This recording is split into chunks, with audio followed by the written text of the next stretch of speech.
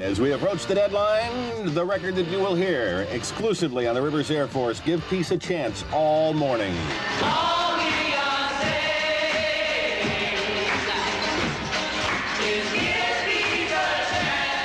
None of Tom Rivers' usual jokes today as the world inches closer to war. One of Toronto's top DJs changes the format of his show without permission.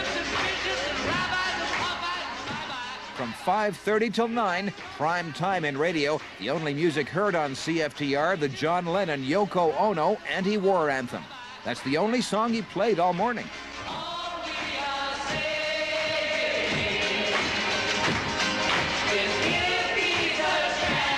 It's the song Lennon and Ono played during their famous 70s bed-in, a Beatle using his influence to promote world harmony. The song anti-war protesters have hung on to ever since. This wasn't a radio programmer's delight, this playing the same song over and over and over. In fact, the repetition factor probably turned a lot of listeners away.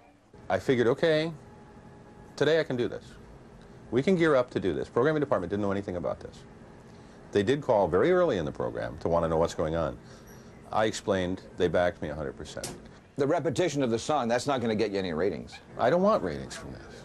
I just wanted to help help the people that were calling in who had concerns. I mean, this, this whole thing is just totally blowing me away. And I'm scared. But I'm really scared. Oh, well, don't be. I have a mother in San Francisco, where one of the naval base, major naval bases in the United States.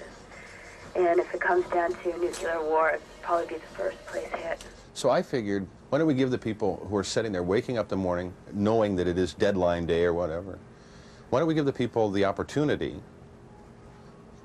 to just express their fears and maybe help one another out?